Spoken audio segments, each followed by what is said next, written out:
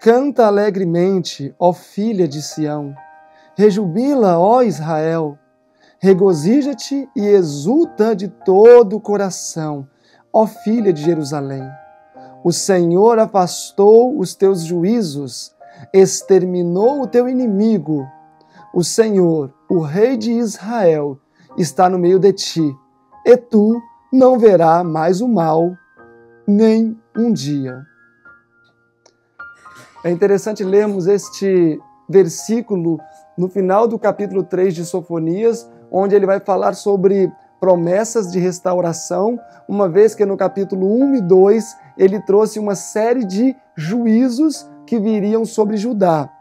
Ele fecha com uma maravilhosa promessa, que depois do cativeiro de 586, Israel não mais seria levado cativo. Judá não sofreria mais juízos no entanto, assim como foi dito no passado, quando Salomão edificou o templo e a glória do Senhor repousou naquele lugar, e o Senhor mesmo, em 2 Crônicas, capítulo 7, disse que habitaria ali para sempre.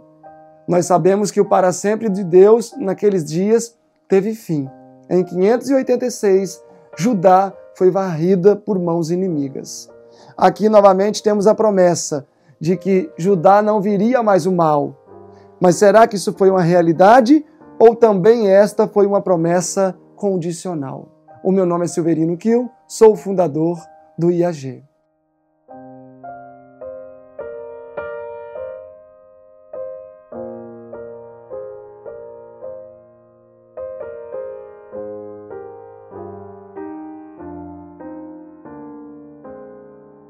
A irmã White, no livro Mensagens Escolhidas, volume 3, na página 338 diz: A Bíblia acumulou e juntou os seus tesouros para a última geração. Todos os grandes acontecimentos e solene realizações da história do Antigo Testamento estão se repetindo na igreja nestes últimos dias. Esse texto é muito significativo, pois ele está em conexão com Eclesiastes 1, 9 e 3,15, onde é dito que as histórias do passado hão de ter lugar novamente no presente e que novamente estarão no cenário no futuro. Todos os eventos relacionados ao povo de Deus no passado, a cada era, têm tido novamente lugar. Embora Sofonias tenha falado acerca de uma promessa de que Judá não seria mais destruída, embora existisse uma profecia a profecia das 70 semanas, que teve início no ano 457 a.C. e findou no ano 34 depois de Cristo. Este foi o período de graça para o povo judeu. A última semana da, das 70 semanas seria onde ocorreria o ministério de Cristo, até a metade da semana, né, Daniel 9, e depois a outra metade da semana o ministério apostólico seria presenciado pelas atividades dos discípulos de Jesus. Então, as 70 semanas, ou o tempo de graça dedicado a, a, aos judeus, 70 semanas estão determinadas sobre o teu povo, Daniel 9, 24.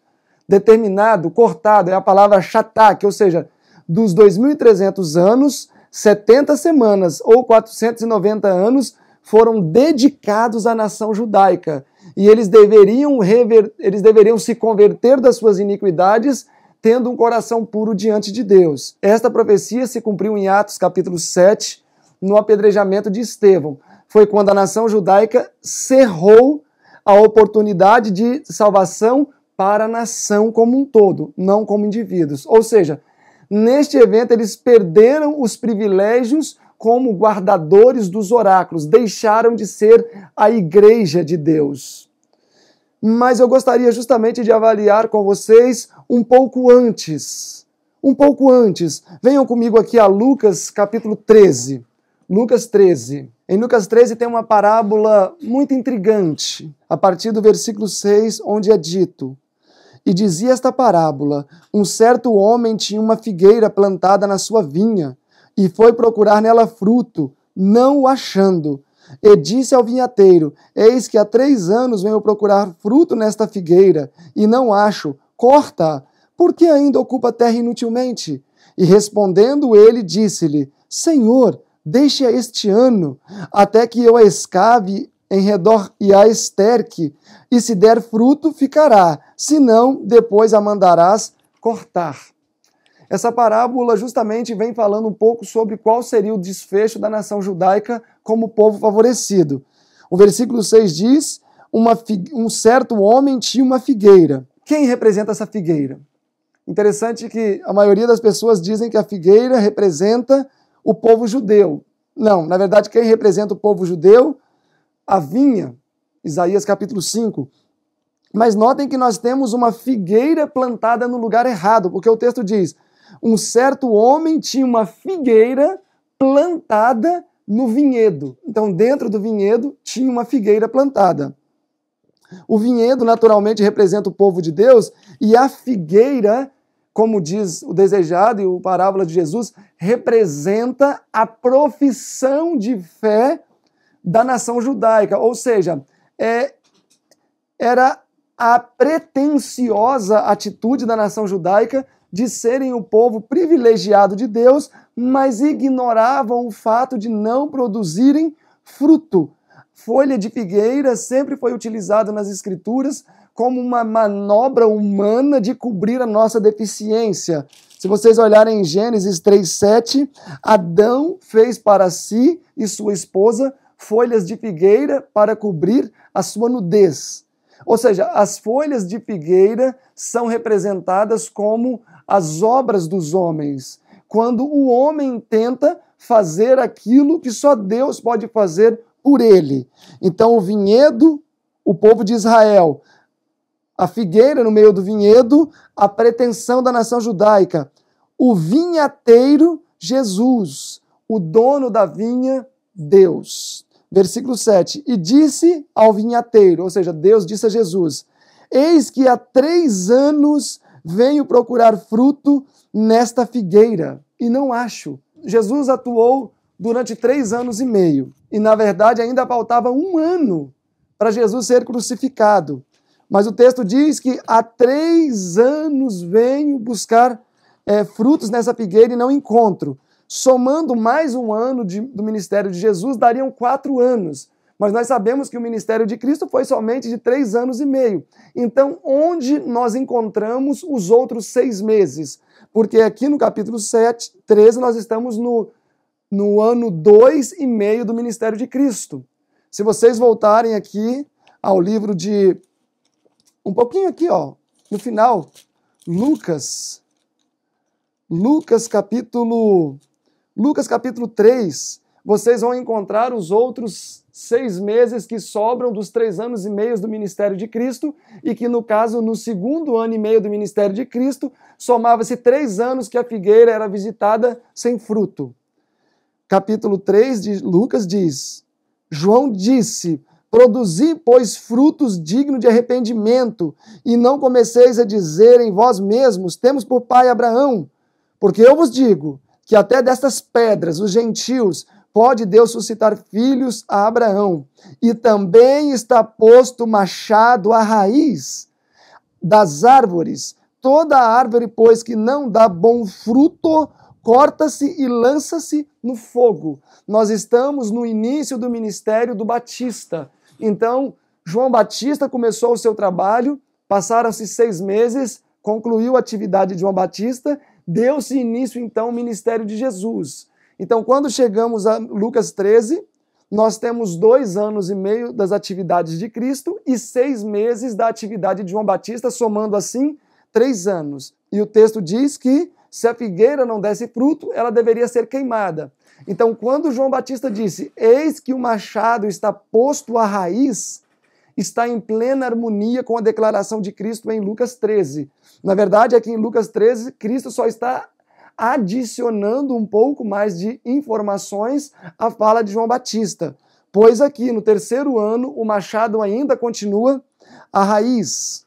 Versículo 8: E respondendo ele, disse-lhe: Senhor, deixe a este ano, Jesus falando para o pai, meu pai, deixe a este ano, ou seja, ainda há um ano do meu ministério. E olha que interessante, Deus querendo abreviar esse tempo, mesmo antes do fechamento da porta da graça, mas Jesus intercedeu pela nação. Justificação, meu sangue, meu sangue, até que eu escabe em redor e a esterque, ou seja, santificação. Me dê a oportunidade, meu Pai, de concluir o meu ministério. Ainda falta um ano. E se der fruto, ficará. E se não, depois a mandarás cortar. Por que depois? Passados quatro anos, seis meses de João Batista e três anos de Jesus, e três anos e meio de Jesus, por que depois? Porque a porta da graça não haveria de se fechar para os judeus no, na crucifixão de Cristo, ou seja, ainda existiriam três anos e meio de atividade. Existiriam ainda três anos e meio de atividade. Então, o pedido de Cristo era que a nação judaica ainda tivesse um espaço mais de período de graça. Vamos agora avançar para os últimos dias da vida de Jesus. Vamos ver se, durante o ministério de Cristo, esta nação de fato produziu os frutos que deveriam produzir. Olhem comigo aí o livro de Mateus. Deixa eu só certificar o capítulo. Mateus 21, verso 19 diz: e avistando uma figueira perto do caminho, ok? Estamos conectados a Lucas 13. Aí, a propósito, capítulo 21, verso 1, entrada triunfal de Jesus em Jerusalém no domingo de Palmas, ou seja, nós estávamos no último domingo de Cristo, pois ele viria a ser crucificado na sexta-feira. Então, nós estamos aqui na metade da última semana, a período este que Jesus havia solicitado ao Pai para ver se a nação judaica iria produzir fruto, para ver se esta pretensão de ter frutos iria realmente ser uma realidade. E vamos ver se a nação judaica de fato produziu fruto. Verso 19: E avistando uma figueira perto do caminho, dirigiu-se a ela e não achou nela senão somente folhas. E disse-lhe: Nunca mais nasça de ti fruto para sempre e a figueira secou-se imediatamente. E os discípulos, vendo isto, maravilharam-se, dizendo: Como secou imediatamente esta figueira? Veja bem, meus irmãos, aqui nós chegamos na última oportunidade dada à nação judaica para produzir os devidos frutos. O grande conflito, na página 316, diz assim: Jesus viu a sua igreja semelhante à figueira estéril, coberta de pretensiosas folhas e no entanto, e no entanto, destituída do precioso fruto. Então, quando chegamos no final da met... quando chegamos na metade da última semana, percebemos que Jesus, que havia intercedido pela nação judaica, verificou que eles não produziram o devido fruto, mas ainda restavam três anos e meio de graça. Agora, por que, que até aqui houve essa decepção? Não só por parte de todos, mas também por, parte dos discípulos. Olhem comigo aqui Marcos, Marcos, capítulo 13. Nós estamos aqui também nos últimos dias de Jesus e o versículo 1 diz assim: E saindo ele do templo, disse-lhe um dos seus discípulos: Mestre, olha que pedras, olha que estrutura. E respondendo, Jesus disse-lhes: Vês estes grandes edifícios? Não ficará aqui pedra sobre pedra que não seja derrubado. E assentando-se ele no Monte das Oliveiras, defronte do templo, Pedro, Tiago e João e André lhe perguntaram em particular o quando sucederiam todas aquelas coisas. Os próprios discípulos estavam acostumados a olhar para a estrutura e utilizá-la como uma garantia de que nenhum juízo viria sobre eles. Os próprios discípulos, ao final do ministério de Jesus, ainda continuavam com a mentalidade de que, para se ter o favor dos céus, seria necessário estar vinculado à estrutura. Interessante que quando Jesus esteve com a mulher samaritana, ele disse algo que foi muito valioso, que está no Desejado de Todas as Nações, na página 189. não por procurar um monte santo ou um templo sagrado são os homens postos em comunhão com o céu. Religião não é limitar-se às formas e cerimônias exteriores. Ou seja, não é estarmos ligados a um monte, ou Samaria, ou templo, que o adorador é colocado em conexão com Deus. É a verdadeira religião que nos aproxima de Deus. Isso sim faz a alma alcançar o regozijo que se deve alcançar. Ainda na página 232, referindo-se ao ministério de Cristo, a irmã White diz assim, desejado 232, o sinédrio rejeitara a mensagem de Cristo e intentava matá-lo. Portanto, Jesus partiu de Jerusalém, afastou-se dos sacerdotes, do templo, dos guias religiosos, do povo que fora instruído na lei e voltou-se para outra classe, para proclamar sua mensagem e remir os que haviam de levar o evangelho a todas as nações. Como a luz e a vida dos homens foi rejeitada pelas autoridades eclesiásticas dos dias de Cristo, assim tem sido rejeitada em todas as subsequentes gerações. Frequentemente se tem repetido a história da retirada de Cristo da Judéia. Quando os reformadores pregavam a palavra de Deus, não tinham ideia alguma de, de se separar da sua igreja estabelecida. Os guias religiosos, porém, não toleravam a luz, e os que conduziam eram e os que a conduziam eram forçados a buscar outra classe. Muitas vezes os que seguem os passos dos reformadores são forçados a retirar-se da igreja que amam, a fim de declarar o positivo ensino da palavra de Deus. E muitas vezes os que estão à procura da luz são, pelos mesmos ensinos, obrigados a deixar a igreja de seus pais, a fim de prestar obediência a Deus. Meus irmãos, Jesus queria sim concluir o seu trabalho pelos judeus. Mas a parte inicial do parágrafo diz que quando Jesus foi rejeitado pelo sinédrio, ele os deixou avançando a buscar outra classe.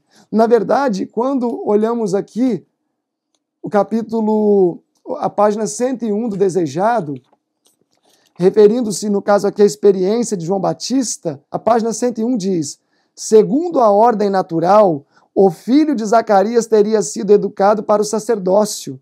A educação das escolas dos rabis, no entanto, tê-lo-ia incapacitado para sua obra.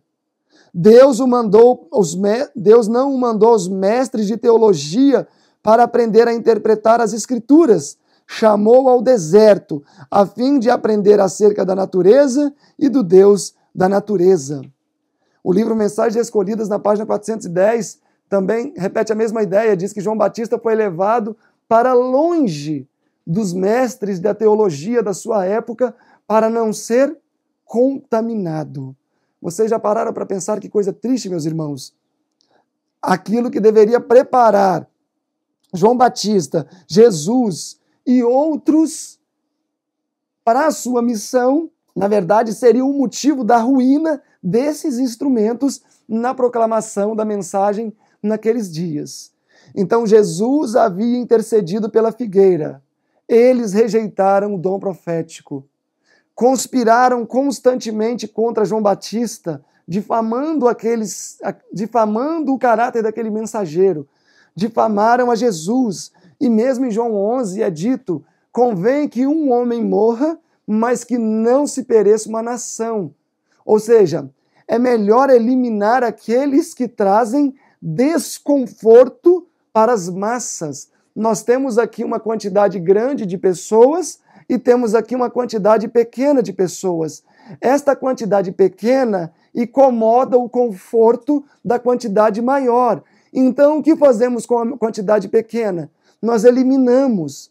Eliminamos pelo bem-estar e pelo conforto da maioria. Será que isto acontece hoje? Bom, não sei, mas cada um pode analisar, né? Vamos avançando aqui. Então, Jesus agora estava nos seus últimos momentos e a nação judaica, por decreto divino, agora já não mais produziria frutos. Jesus amaldiçoou aquela figueira, não se produzirá mais fruto, e nem folha, na verdade, vai ter em ti, ou seja, nem mais pretensão. E isto se concluiu de maneira. É, não concluiu, mas isso se cumpriu a partir das próprias escolhas dos judeus. Olhem aqui na, em João, onde Jesus estava sendo julgado, e vamos ver aqui quais foram as palavras é, é, dos, dos, dos judeus quanto a Jesus. Olhem João 19, verso 6. Quando viram-no, pois, os principais sacerdotes e os servos clamaram, dizendo: Crucifica-o, crucifica-o. Disse-lhe Pilatos: Tomai-o vós e crucificai-o, porque eu nenhum crime acho nele. Responderam-lhe os judeus: Nós temos um rei, e segundo a nossa lei deve morrer, porque se fez filho de Deus. Quem era o rei que eles estavam aqui dizendo que, que tinha? Naturalmente era César, aquele mesmo que oprimia e matava. Mas aqui eles estavam falando que preferimos César com toda a sua tirania do que este. Pilato, né, os versos seguintes vão dizer isso, considerou o inocente, versículo 12, desde quando Pilatos verificou que Cristo era inocente e os judeus culpados, desde então Pilatos procurava soltá-lo, mas os judeus clamavam dizendo: se soltas este, não és amigo de César. Qualquer que se faz rei é contra César. Ouvindo, pois, Pilatos este dito, levou Jesus para fora, sentou-se no tribunal no lugar chamado Litrostotos, que em hebraico é Gábata, e era a preparação da Páscoa, e quase a hora sexta, e disse aos judeus: Eis aqui o vosso rei. Mas eles bradaram: Tira, tira, crucifica-o. Disse-lhe Pilatos: Hei de crucificar o vosso rei? Responderam os principais sacerdotes: Não temos rei senão César. Em outras palavras, eles estavam falando: Nós não queremos este tipo de pessoa no nosso meio. Ele nos incomoda. Nós preferimos a opressão de César do que o que ele tem a nos oferecer. E o interessante é que depois vocês podem continuar lendo, a hipocrisia era tão grande que eles não queriam entrar no, tribu no tribunal para não se contaminar e assim poderem comer a Páscoa. Meus irmãos, esta é a condição que chega a uma nação, ainda que seja eleita de Deus, quando começa a transigir com o pecado. Bom, quanto a Laodiceia, nos é dito que ela é cega, nua, miserável, desgraçada, pobre, não diferente da condição da nação judaica. Mas os judeus estavam preferindo a César do que a Cristo. E pouco antes deste momento, pouco antes desse momento aqui que Jesus disse essas palavras, uns diazinhos antes, vejam só o que ele declarou aqui no capítulo 23 de Mateus, versículo 38. Antes do versículo 37, para ter um breve contexto. Ah, Jerusalém, Jerusalém, vocês matam os seus profetas, apedrejam os que são enviados. Quantas vezes eu quis ajuntar os teus filhos, como a galinha junta os seus pintos debaixo das asas, e tu não quisestes. Eis que vossa casa ficará deserta. Eis que vossa casa ficará deserta. Eu quero ler para vocês o comentário inspirado deste versículo. Eis que vossa casa ficará deserta. O Atos dos Apóstolos, na página 145, diz assim: Ao mesmo tempo, adoradores de todas as nações procuravam o templo que havia sido dedicada à adoração de Deus, resplandecendo em ouro e pedras preciosas, ostentava um aspecto de magnificência e encanto. Mas Jeová não mais seria achado nesse palácio de beleza. Israel, como nação, havia se divorciado de Deus. Meus irmãos, eu estou lendo um comentário da irmã White comentando Mateus 23, versículo 38, isto antes de se fechar a porta da graça para os judeus. Vejam bem, este detalhe é importantíssimo. Deus rejeitou a nação judaica antes do fechamento da porta da graça. A porta da graça se fecharia no ano 34, no final das 70 semanas. Deus respeitou o tempo profético, mas já não atuava mais por meio desta nação. Aqui o texto está dizendo que Deus havia se divorciado de Israel. Quando Cristo, perto do fim do seu ministério terrestre, olhou pela última vez para o templo, disse: Eis que vossa casa ficará deserta. Mateus 23, 38. Até então, ele tinha considerado o templo como a casa de seu pai, mas ao deixar o Filho de Deus no interior destas paredes, a presença de Deus abandonou para sempre o templo construído para a sua glória. Então aqui está dizendo, meus irmãos, que Deus abandonou a igreja antes do fechamento da porta da graça. O livro desejado de todas as nações é tão importante o assunto que também apresenta a mesma ideia. Desejado 620. Mas Israel, como nação, divorciara-se de Deus. Os ramos naturais da oliveira foram quebrados. Olhando pela última vez para o interior do templo, Jesus disse, em patética lamentação: Eis que a vossa casa ficará deserta. Mateus 23, 38. Porque eu vos digo que, se, que desde agora não me vereis, mas até que digais: Bendito é o que vem em nome do Senhor. Até então, Jesus chamara o templo da casa de seu pai. Mas agora, ao sair o Filho de Deus de entre aquelas paredes, a presença de Deus seria para sempre retirada do templo construído para a sua glória. Daí em diante, suas cerimônias seriam destituídas de sentido, uma zombaria seus serviços. Então Deus não mais iria compactuar-se com o que acontecesse ali. Esse assunto também foi mencionado no Grande Conflito, página 21.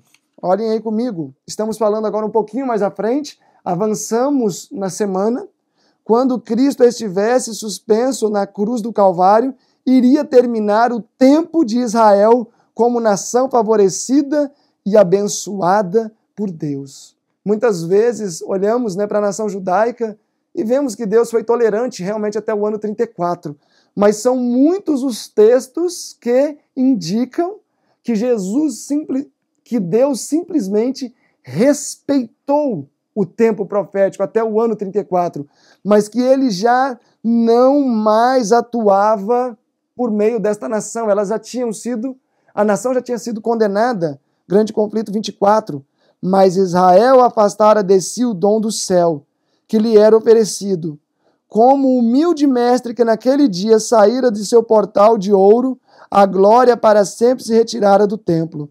Já eram cumpridas as palavras do Salvador: Eis que a vossa casa ficará deserta. Veja bem, meus irmãos, são muitos os textos que indicam que, ainda que a porta da graça iria se fechar somente no final das 70 semanas, e isto é um fato, porém não podemos ignorar as evidências de que Deus abandonou a nação antes desse período. Ou seja, antes do final das 70 semanas, o Espírito de Deus já não estava mais no templo. A igreja havia sido abandonada. A igreja continuou seguindo o seu fluxo natural. Por quê? Por que, que a profecia de Sofonias não se cumpriu? Que Sofonias disse que Israel não veria o mal novamente, não seria abandonada.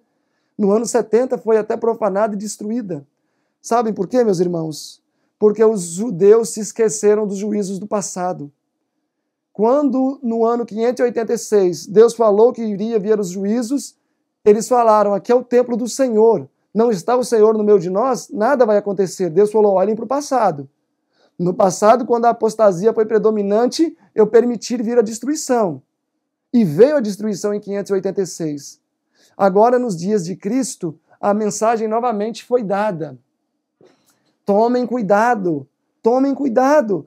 Mas fizeram pior do que os vossos pais porque mataram o príncipe da vida, mataram o único meio de salvação que lhes era designado. Então não devemos nos surpreender de que Deus abandonasse a nação mesmo antes do fechamento da porta da graça. Porque se eles rejeitaram o príncipe da vida, naturalmente, naqueles três anos e meio, a nação não iria se converter como um todo. Sabemos que muitos indivíduos, sim, aceitaram as admoestações de Cristo, mas como nação, rejeitaram. Por mais que uma igreja tenha o peso da evidência de ter um chamado divino, isto não é uma garantia de que ela pode andar deliberadamente nos seus caminhos sem temer nenhuma consequência. Ah, mas hoje Deus não vai permitir vir juízo sobre essa igreja, o Israel moderno. E eu pergunto: será? Será que se nós não será que se nós observássemos um pouco mais de perto, será que esta igreja já não tem sofrido sérios juízos? Será que Deus já não está retirando o seu espírito desta igreja também nesses dias? Ah, mas ela não é Babilônia. Os judeus também não se tornaram Babilônia quando o Espírito de Deus os deixou. Não é questão de ser ou não ser Babilônia. É questão de Deus usar ou não. Os judeus mataram, os judeus mataram Jesus e nem por isso se tornaram Babilônia. Se a igreja adventista hoje começar a matar, eu não acredito que ela vai ser Babilônia tão pouco. Eu só creio que Deus não vai usá-la. Mas Deus vai respeitar o tempo profético, assim como ele respeitou no passado. Então nós precisamos fazer uma grande obra por nós mesmos, porque existe uma igreja. Atos dos Apóstolos. Deus tem uma igreja na face da terra. Página 11. Almas fiéis constituem a igreja de Deus. Meus irmãos, nós precisamos estar unidos para ser a igreja triunfante. A igreja militante, sim, tem o seu papel. Mas a igreja militante não é a igreja triunfante. É da igreja militante que sairá a igreja triunfante. Esta, sim, nós precisamos buscar fazer parte. Que Deus possa nos ajudar a nos levantar e, especialmente, preparar as nossas famílias, a nós mesmos, para clamarmos por purificação desta igreja, a fim de que tenhamos condições de dizer: sai dela, povo meu, sem que eles venham para nossas fileiras e não se escandalizem.